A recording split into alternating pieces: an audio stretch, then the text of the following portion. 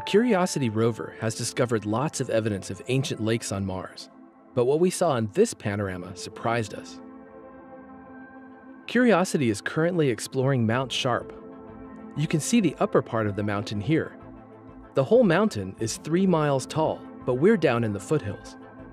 In 2022, the rover started exploring a unique feature on Mars called the marker band.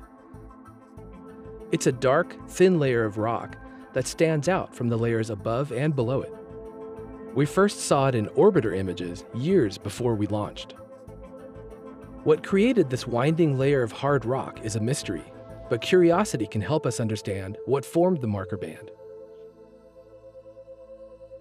We first discovered that the rocks within the marker band are really hard. Curiosity has faced some challenges drilling into them. Here's two of our attempts. But we might find a softer spot on the road ahead. Nearby, we found an exciting scientific clue. These rippled textures were created billions of years ago by waves in a shallow lake. We've climbed through many lake deposits during our mission, but have never seen wave ripples this clearly.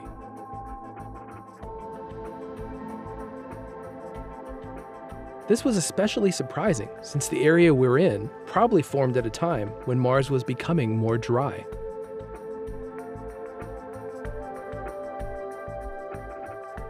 Just above the rippled layer is another intriguing clue. These rocks have a very repetitive pattern in their spacing and thickness. We see lots of layers on Mars, but they're rarely this regular. We're not sure what caused this rhythmic pattern. Weather or climate cycles like dust storms happening at periodic intervals, are possible explanations.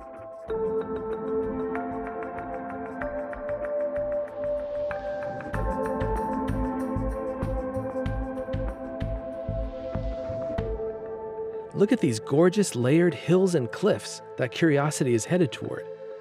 If this was on Earth, we'd probably make it a national park. In the distance here, we can see debris in a valley called Gediz Vallis. This was washed down here by wet landslides very late in Mount Sharp's history. This landslide debris is probably the most recent evidence of water that we'll ever see.